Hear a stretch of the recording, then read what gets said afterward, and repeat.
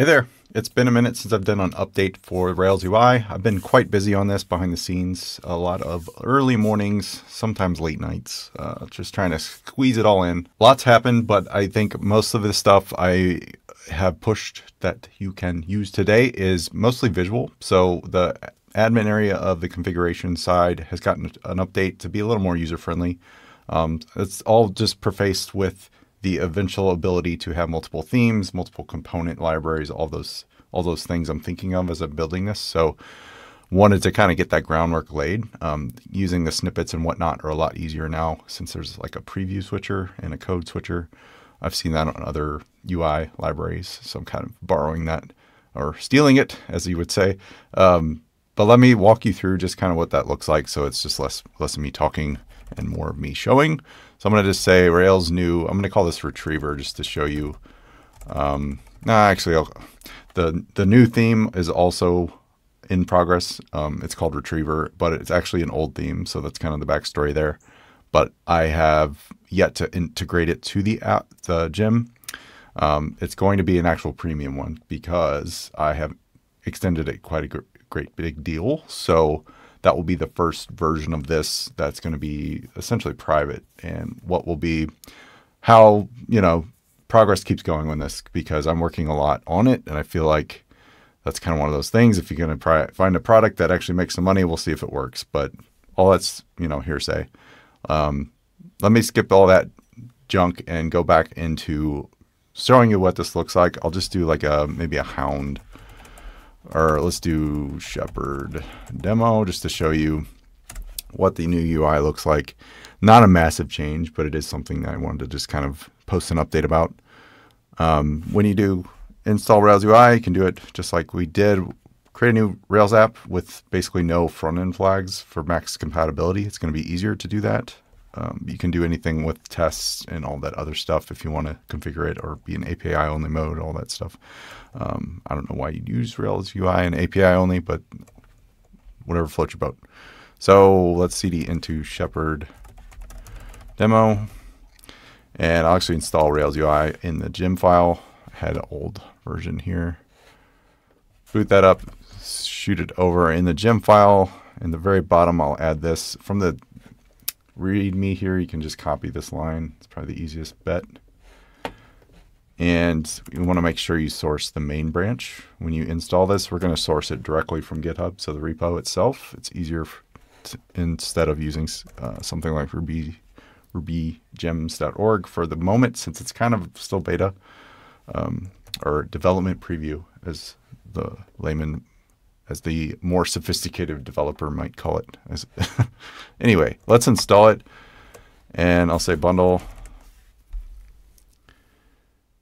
Great. Uh, there's a few dependencies, very little, honestly. So with this update, there's also some uh, devise stuff happening that is configured to create some sample users by default. So that's one little uh, advancement that happens. Uh, a couple other things related to mailers is integrated and branding gets a shift so that when you update your theme or, or create your theme, or I'm calling them templates now, excuse me, um, the branding, whatever you change it to, is actually you know showcased on the the templates that get generated. So a lot of talk there without showing you. It probably doesn't make much sense. So let me get to that.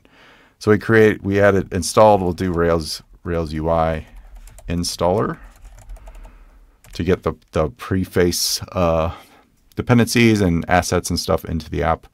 This essentially just takes care of the, the cruft of removing something like import maps, replacing with ES build, adding all the reusable layouts and shared partials and stuff that we'll use pretty much from template to template, I'm thinking. Um, that will evolve, of course, as uh, different templates take different shapes as far as components goes too. So as you can see here, I've actually created some demo users. You can see those in your app as you uh, boot it up. There are new mailer templates. So if you view Rails localhost 3000 Rails info mailers or mailers, um, there's going to be some some pre-built stuff there now to preview that's already part of Rails UI. Uh, you do need to install a template first, so that's one caveat. But we've got assets, icons, a lot of icons. Those are hero icons. And yeah, quite a few things that just come with the stack. So that's the whole point, kind of making that that configuration part just you know painless. No need to do it on your own, uh, especially with the UI world. So with that installed, we can boot up the app and go into the I, I'd call it a GUI. Now you can install a template from the tasks menu if you really want to, but you couldn't configure stuff like this per se. You could, I guess you could if you added a Rails UI, Rails UI configuration, but I'm just thinking out loud there.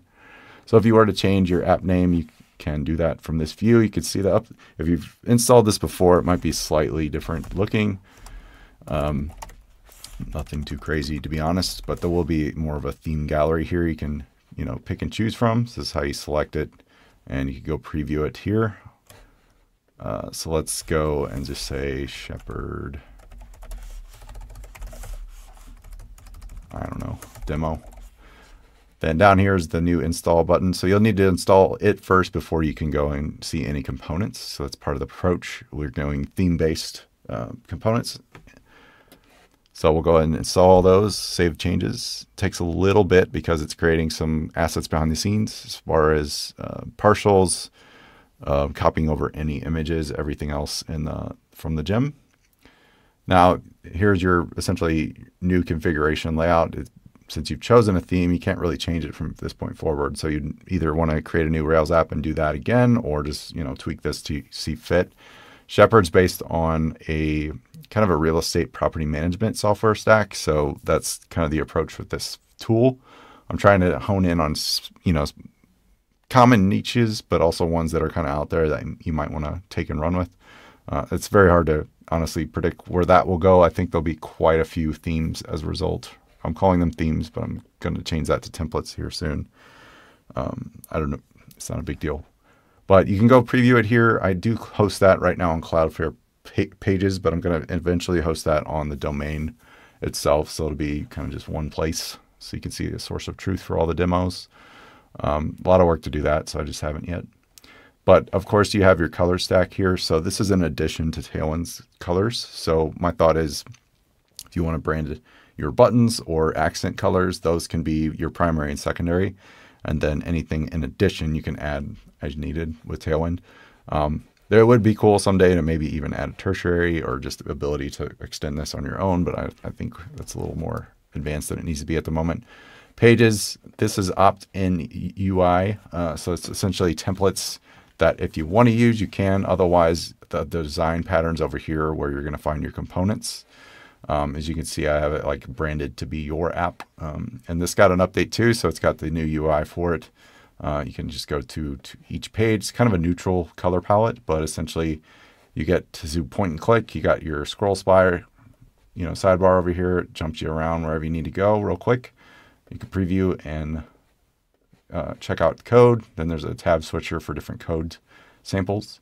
So eventually I'll extend this. I think there's other frameworks out there that have got my attention that are more component based. So never fear that will come. It's just, you know, a tall lift at this time. So that's just something to keep in mind as you're viewing this or checking it out. Um, but yeah, everything from input based UI to actual repeatable elements like data lists are all here. Looks a little gross, all scrunched up, but there you go and it's just ready to rock and roll. So you can copy and paste these. Um, we, these are typically in use in those view templates too. So you could copy and paste from there if you want. Um, but this is just kind of a general guideline to use and customize as you need.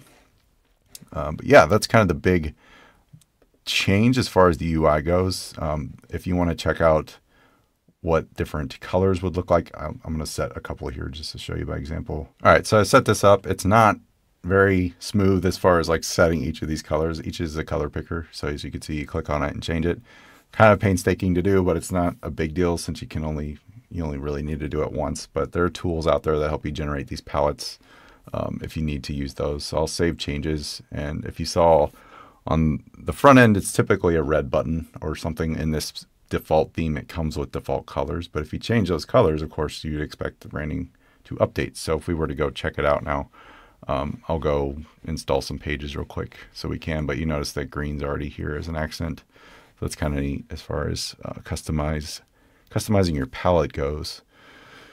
So I think this was the previous update that this occurred, but I realized there was a lot of bugs with that. So on the Hound theme in particular, the other theme in the stack, it wasn't actually working. So that's been fixed. As far as I can tell, most everything is smooth and working well. So uh, if you spot anything, let me know in a GitHub issue on the repo. But yeah, if we go back to say the pricing page, you can see that green now reflects the change and it's all updated in real time as you need to. So pretty cool. That's all baked into Tailwind and Rails UI. So uh, other things that I have added that are little minor tweaks and I think are useful in this case. Of course, I mentioned the the switchers. So now you've got it's basically just all previews as far as you can see, and not just kind of littered with code and previews, which is kind of hard to to scan, honestly. So this stuff's kind of solved for, and it just looks a lot nicer in my opinion. Um, then also, uh, if you go into yeah, like the mailers are more full screen now. So it's just got a, a nicer preview as far as that goes. But the uh, last little outlier thing that I updated was just the routes UI. Uh, it's also less, you know, loud and proud and more just kind of white space and black and white. So it looks better. Finally, the mailers, which I've helped get across the line. We've got some defaults that come now. So the Rails UI, there's a, three defaults. I'm going to extend this to be a lot more like marketing, other uh, maybe use cases, but these come by default in your stack and are branded too. So that you'll notice the colors don't reflect because you can't quite use Tailwind CSS in emails. So there's a separate little solution for that for emails. I would recommend reading the docs if you want to figure out how to customize those. It's pretty straightforward. But this is like the default colors in this case. So that's how and why it might look different to you than that green we changed before. But that's essentially it as far as the biggest updates. There's the Devise templates too. Some come stock. And in the app on your end, you can uncomment a couple other previews for if you use like confirmations or other other aspects of devise. Those come stock too and ready to rock and roll. You just need to change out your assets, essentially like your your logo, maybe your whatever social icons you want to use.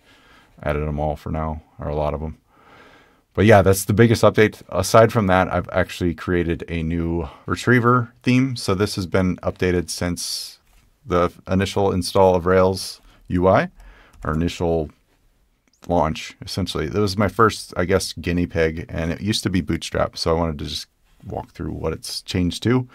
Um, right now, it's all Tailwind based, so it got a, a sizable update, to be honest. So this is going to be a, essentially in a premium theme um, because of that, and it's the first of its type. So figured if it's the first of the the free, it could be the first of the premium after this big change that's gone.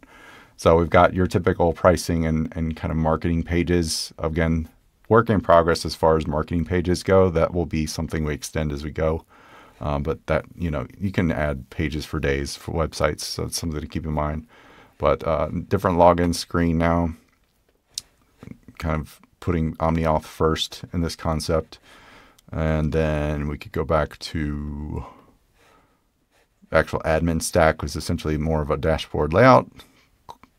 Quite nice. It's got this little padding on the edge I, I like, so it's a little containerized version that's fixed on the, the menu up top. Um, got your change log built in, your help docs built in, navigation or notifications, excuse me, and a lot of account stuff. So this is all just pre-baked in. So it's essentially solved for. You just need to hook it up. Uh, a lot of no- notification stuff, team-based things. So managing that, sending invites, maybe using Devise Invitable. It's not actually integrated into this, but you could at least have that UI solved for. Same with billing. If you do something like Stripe Element or something that's more less of a Stripe checkout session kind of thing, this is solved for and integrations if you want to add those at any time. This is all static at this point, and this is actually not in the Rails UI uh, gem just yet because it's going to be in the Pro version. Um, but that's just kind of showing you what can be done. Like I, I might have mentioned it, but I'm working on a marketing website as well. So all of this will be on that coming soon. Uh, a lot to come with that. There's a, quite a big lift to get that up and working. Um, I've been tossing and turning around how to go about giving access to the code and making it easy to onboard, all those things. And I finally settled somewhere and it's working pretty well. We'll see how it works in the long run, but I like it. But yeah, we could walk you through maybe how this could work. It's it's essentially like this this theme is based on maybe like a deployment or a PaaS um, platform as a service kind of app. So taking that and running with it. So in this case, maybe you go into your GitHub uh, app and you have all this interior activity or overview. So here's your configure environment, variables, add-ons, all that stuff, recent activity, contributors, uh, and then you can just kind of see what's going on with it. So you've got domains, access, different settings for that. You reveal your key and values if you have environment variables. Do all the things you need to do for a server if you're running one. Uh, that's a big lift. Then you have your servers independent of that. So you have different servers, different apps within servers, domains, databases, you know, all that stuff. And you can see different patterns for the UI for that if you want to change those. Domains, similar model, it's kind of just different UI. Databases, very simple. Deploys, just kind of a, you know, interactive way to see what's going on with the apps. User management, kind of these foundational things you might need and might not, but it is one of those things that if you decide to extend whatever you're building, you can add these and copy and paste them into your app and just extend them from there.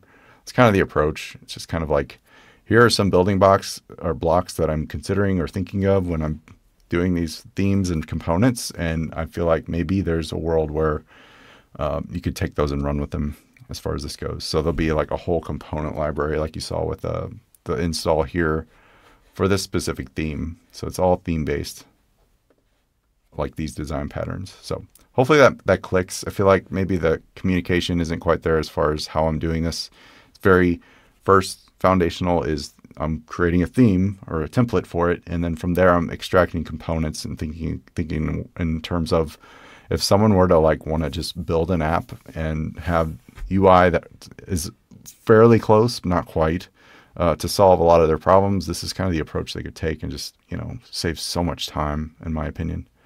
Uh, but yeah, that's essentially it. I want to just walk you through that that's what's to come uh, soon. So there will be a refreshed marketing site probably going live with the next update. Uh, so I'll announce that and send another emails to show you about, or at least talk you walk you through that, and then just kind of maybe announce future progress ideas, all that stuff. So if you had feedback, have questions, or suggestions, I'm really open to any of that and would love to hear it. To be honest. So please hit reply on this email, or if you're on this video, wherever you're seeing this, if there's a comment section, go ahead and leave a comment. If you have any questions, I'll reply to you. No problem. Uh, so yeah, that's it for now. Thanks for watching this far. I know it's been like 20 minutes or so, maybe less, but appreciate it. All right. So long.